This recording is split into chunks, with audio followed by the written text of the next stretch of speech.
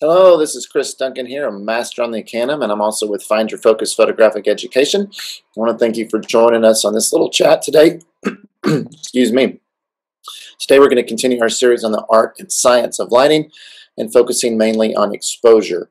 How to obtain the correct exposure, the different methods to do that, understanding what proper exposure really is, and also a little insight into our dynamic range and how we can use that and how our eye will oftentimes trick us on what we see is not what we can capture and it's definitely not what we can print.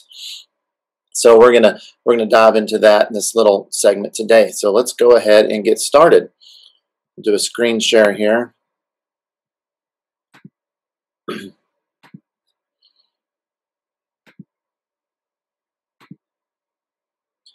And so I like starting with this quote. This is a quote I found from Ansel Adams, and you don't even have to be a landscape photographer to appreciate this. He says, I often thought of that photography were difficult in the true sense of the term, meaning the creation of a photograph would entail as much time and effort as a production as a watercolor or etching. There would be a vast improvement in total output. The sheer ease at which a superficial image can be created often leads to creative disaster. I think that's a very powerful quote. Um, this was taken, this was said in an age when it wasn't as easy to create a superficial image. Now, it was easier than a watercolor and etching was, but it still wasn't at the ease that we have it today. And it's going to be even easier tomorrow to create an image. So I think as professional photographers and as creatives and as artists, um, it's our job to to really take our time and show the world what we want them to see in a, in a manner that makes sense, in a manner that works. And especially if it's our if our business or if it's our art, um, this isn't something we can just flippantly do. I think it takes some time and some effort. And uh, in this next few minutes, I'm going to be going over some of the art and the science of lighting. And so maybe we can put those in the back of our mind. So before we pull the trigger, we have everything in place. So this quote may, may or may not necessarily go exactly along with today's, but I think it's a big umbrella that covers everything we should do. So let's understand light first. and basically, when we're talking about understanding light or getting to learn these things, we have three levels of learning. And I, and I talk about this at every seminar and classroom setting I have. And that's there's three levels of this gaining of knowledge or of learning. First is knowledge. Knowledge is just the facts. That's just the information. Um, for example, I know that my car needs fuel and oil. I know that whenever it's on, the, the spark plug causes a spark that allows the gasoline to explode, that pushes the pistons, and this explodes multiple times in a second. And this drives the pistons, and the more it explodes, the more pressure is built up, the faster my car can go. I know when I apply the brake that I use friction to stop the car. I know that. I don't understand how any of it works. If my car breaks down and I have to look inside an engine, I'm totally lost. So a lot of people, maybe you watching, you know some things about lighting, but you don't understand why it's doing what it's doing or what it's doing. And so I want to take you from the thing of knowing the facts. I'll give you some facts. I'll give you some of the knowledge. I want to take you beyond that to where you have a true understanding of what it's doing. So you can get to a situation and, for instance, say, wow, this is a nice big light source, so I know it's really soft. I don't need a soft source because my bride has a very detailed dress. I want to show all those details, so I need to have more shadow detail. So I need to make my light source smaller, so I'm going to move it farther away. That's the kind of understanding I want you to have that you can do like that in the just flip the switch and subconsciously not even really have to think about it and then create the image you need for your client. And of course, wisdom is something we're all gaining for. We're all we're all striving for, and that's using the knowledge and the understanding in the right combination to create the image that's best suited for our client or for what we want the world to see. Today we're going to talk about exposure mainly, and but there's a big difference. There is a difference between a properly exposed photograph, and this is what I think when people say, man, your camera takes good pictures, or man, my camera is doing a great job, I think they're mainly looking at exposure. Is the color right? Did the highlights and shadows match? Um, is every all the detail there? And yes, we need properly exposed photographs. But I've seen a lot of just boring, properly exposed photographs of the pyramids. And I've seen amazing images of trees or branches or of a rock. So there's a big difference between a properly exposed photograph and a well lit image. And we could go on to say a well designed, a well posed, a well composed, a well colored, a well focused, a well put together image. It's not just about getting an exposure right, it's about doing all these things together. But today we're going to focus on exposure. Light has three properties that we need to be aware of at all times. That is light quantity, that is how much light do we have? Is there enough? Is there too much? What do we need to do to get just the right amount of light for our scene? Light quality, what does it look like? Is it hard? Is it soft? Keep in mind, light quality is the is the hardness or softness of the light, not the density of the shadow. A lot of a lot of my students get confused on this. You can have soft light and very deep shadows. Light quality refers to the transition between the highlight area to the midtone to the shadow area. Is it very sharp? Is it a quick line that you would get with a small light source like the sun? Does that shadow have a crisp edge? Or is it a gradual transition from highlight to shadow? Is it feathered? That would be softer light quality. And then, of course, we need light direction. Where is it coming from? Is it producing shadows? Is it producing shape and form and texture? So, what does light do? Well, the main thing of lighting is probably not what you might have originally thought. Lighting makes up for what our eye can see, our sensor can capture, and our paper can print. That's why we use lighting in the film industry. That's why we use lighting in the photography industry. It is to make up for what our eye can see, our sensor can capture, and our paper can print. That's what it needs to do. That's what it has to do. What it can do is provide texture, dimension, color. You know, proper exposure. The only way to get proper exposure, sorry, the only way to get proper color is by proper exposure. You overexpose red, you get pink. You underexpose red, you get maroon. You want red, you better expose it properly and are correctly. Light also shows us shape and motion and direction, and the list could go on and on.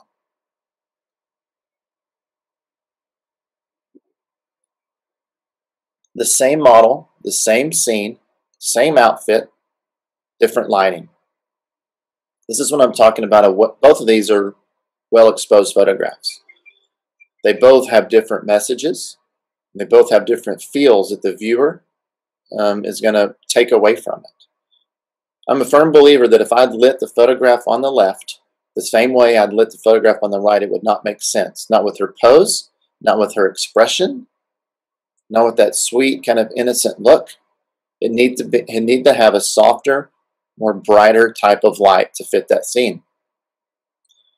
Same goes for the image on the right. If I had lit that the way I had lit the one on the left, if I just said, okay, now let's sit down and did the same thing again, it wouldn't fit. It'd just be another pose in her book. But by gridding those lights and changing the light direction and changing the light quality and the light quantity, I was able to, in my opinion, create an image and a lighting that fits the mood and the style of the scene.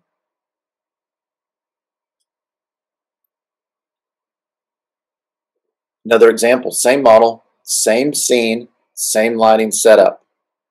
It is the same lighting setup. All I did was add a gel to the background light. I don't think a yellow gel behind her image on the left would look good with that powerful, confident pose. This fun, laughing, smiling pose, that's a bright, sunshiny look. That I think that fits. One more example. This is I just moved my camera position. I didn't really necessarily change the lighting. I just moved my camera direction. And sometimes all you got to do is walk around and it changes. It's not necessarily pulling off a modifier or putting a grid on a light. It could just be moving your feet a little. Now this is a landscape image we took at our Find Your Focus event. Um, this is kind of, this is a little sidetrack. I'm going to go and go through the slide, but it's it's really to think cinematically. And this is great when you're doing landscapes, if you do wedding albums or family settings. Get the big, cinema makers will call it the ELS, the establishing long shot. It sets the scene. It's a two second to four second clip before they get into the dialogue. It kind of tells the viewer where they are. Then they get a little more intimate into the details. They'll come into the room. The, maybe maybe the cinema, the street, the scene is the ELS is a street scene. Then it's a room in this building, and then it's into the dialogue. So then you're getting closer to the subject matter. Just a little side note to keep you keep things intriguing. So one thing we got to think about the laws of lighting, especially in exposure today, is our main topic, is we measure exposure in stops. A stop is just a term of measurement, like an inch or an ounce is. But one difference with this is exposure is exponential. It's not a sequential measurement. So it's not 1, 2, 3, 4, 5, 6, and so on and so on. It's 1, 2, 4, 8, 16, 32, 64, 128, 256, and so on and so on. So each stop doubles or halves the amount of light we have. That's why it goes from 2 to 4 to 8. We're doubling it, or from 8 to 4 to 2. We're cutting it in half. And we can control our stops by three methods. Our ISO, which is a global stop change. We can keep the same look with our shutter speed and aperture and use the ISO to globally change our exposure. Or we can more selectively change our exposure, which affects the image output via shutter speed, which will show or stop motion, or via aperture, which will com combine more depth of field or less depth of field.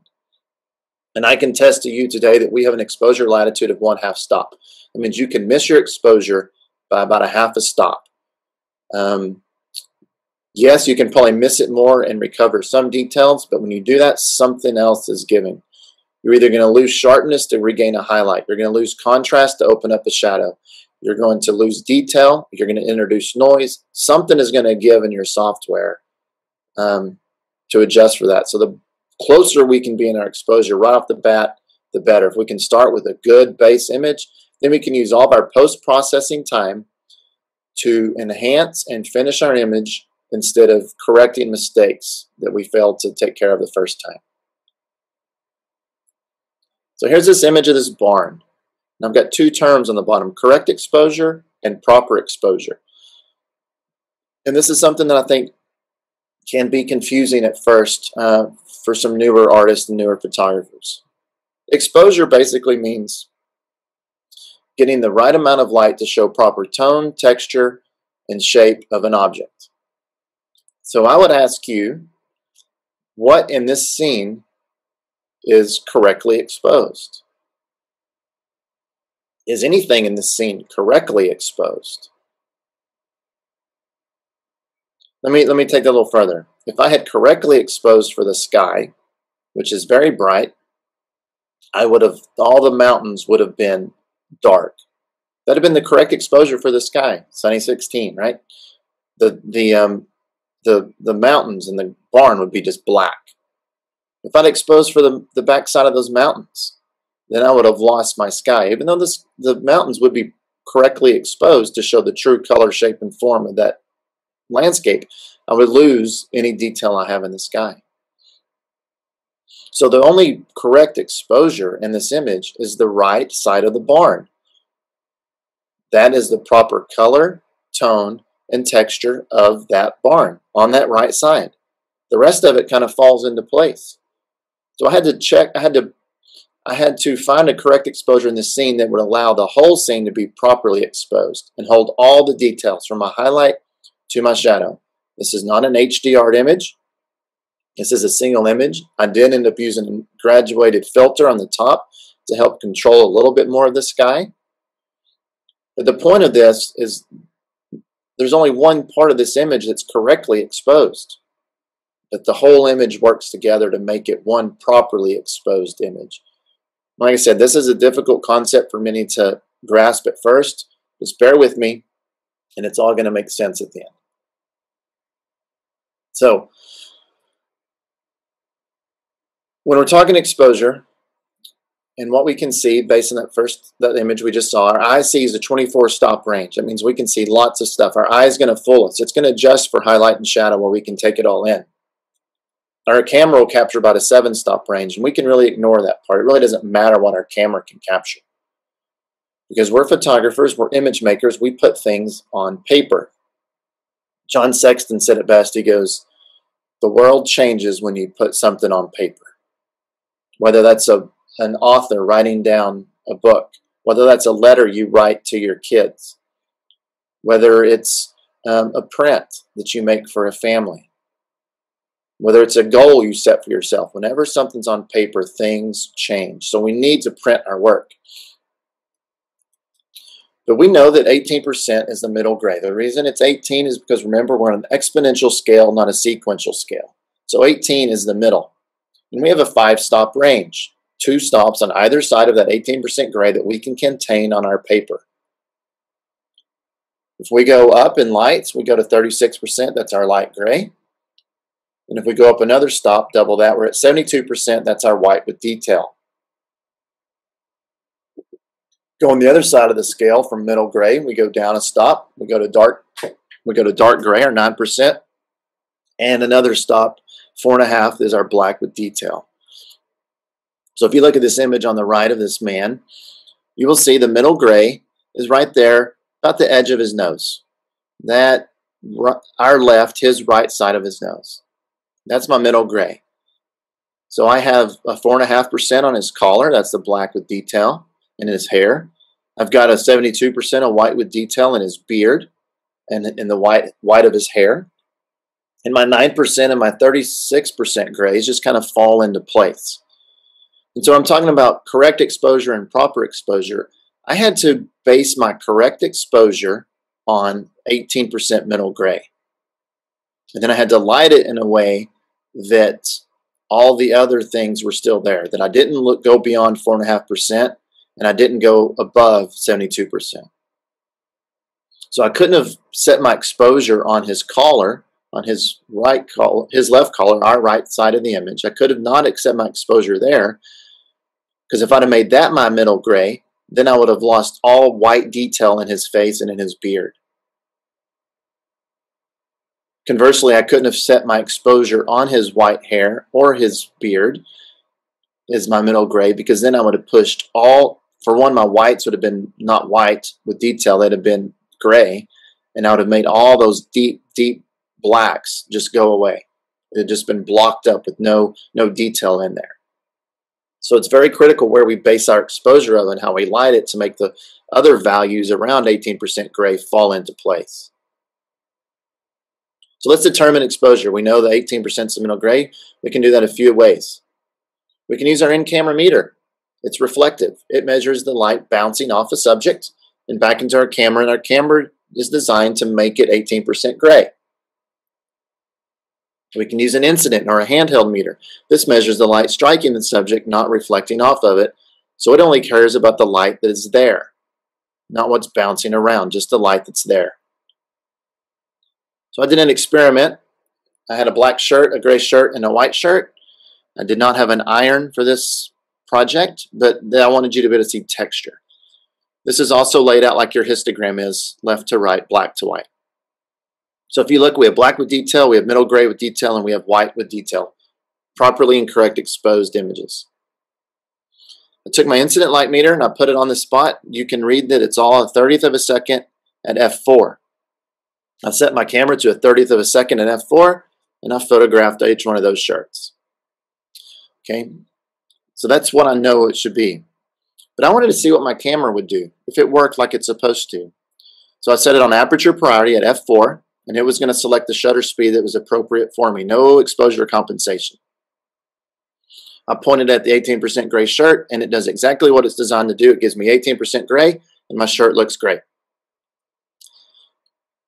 But then I get a problem when I go to something that's not 18% gray. I'm meter my black shirt. Even though that white card is in there, that's still part of the scene. It sees that overall scene as being black, and my camera worked exactly like it was designed to do. The meter did its job. It made my black shirt 18% gray, but it didn't give me a correct exposure. It overexposed by two and a half stops. I then looked at my white shirt. Once again, the engineers at Canon nailed it. The meter worked exactly like it was supposed to do. It made my white shirt gray, and it, un- oh, and it underexposed it by two stops. So I'm not saying you can't use a reflective meter, but you need to understand what it's metering and what information it's giving you off what part of the scene. Is it reading gray? If it is, you're fine. Is it reading a white or a black? If it's reading one of those to make its exposure determination, then you're going to be frustrated and fighting an uphill battle. Same goes for ETTL flash technology. It's the same method. It just it just measures the flash bouncing off either a black, gray, or white tone. So you need to be careful using ETTL technology as well. If you are going to use a reflective meter, I recommend in your camera that you set it to spot metering so you can get the the most pinpoint part of a scene to meter off of and find something that's 18% gray to meter off of if you're going to be using a reflective metering technique.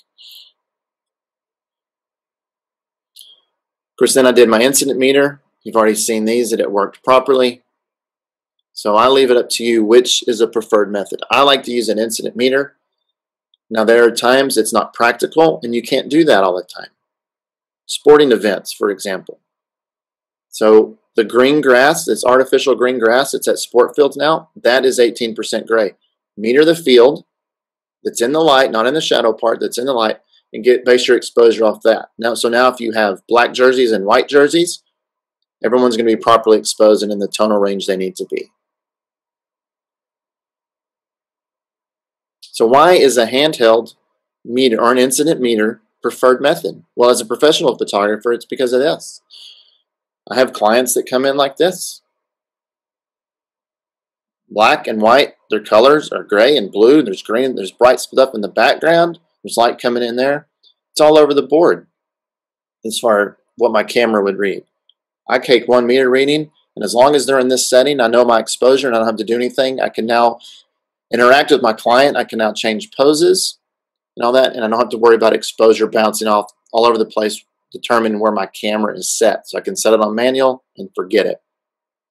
And of course, the classic example is a bride and groom. But you can see there we have white with detail, black with detail, and all of our other midtones fall into place as well. Or if you're a commercial photographer using studio lighting, then this, this would confuse the heck out of ETTL unless you were savvy enough to know that that red of those cherries is 18% gray, and you'd meter off of that. But I've got a white dish, a deep dark chocolate cake, and a red cherry. So I in this image, I have my white with detail, a black with detail, and an 18% gray, which is represented by the red.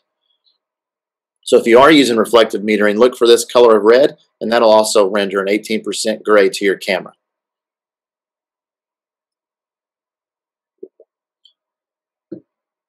So I am going to stop there for today's lesson. That's enough to kind of give you a good understanding of exposure and some things to think about um, when you're metering a scene and things to look for. Critical part of this lesson was knowing your metering method. Are you using the camera, using the reflective metering? You're going to use a tool like this um, that you can trust. Um, and if you are using a reflective meter, make sure you're metering off something that is 18% gray. And really be aware of the next scene you're at, whether it be a portrait, a wedding, a landscape, whatever the scene is. Really be cognizant of the entire dynamic range. From your 4.5%, your black with detail, up to your 72%, your white with detail. Make sure you can take, you can control your image and your exposure to all of that. Because your eye may see this. Your eye may be way out here. The scene may call for this. So you have to do something with lighting, camera position, either adding light or removing light, whatever the case may be. And you have to narrow that gap to that five stop range. So that's kind of the that's kind of the goal and, and the, the meat of the information from today. So I hope this helps you um, when you're out photographing and you're out lighting a scene and checking it. So um, those are some critical things to think about. Once again, my name is Cris Duncan with Find Your Focus Photographic Education. You can also find me on the Arcanum, where I'm a master there in my own community. I appreciate you watching today, and happy creating.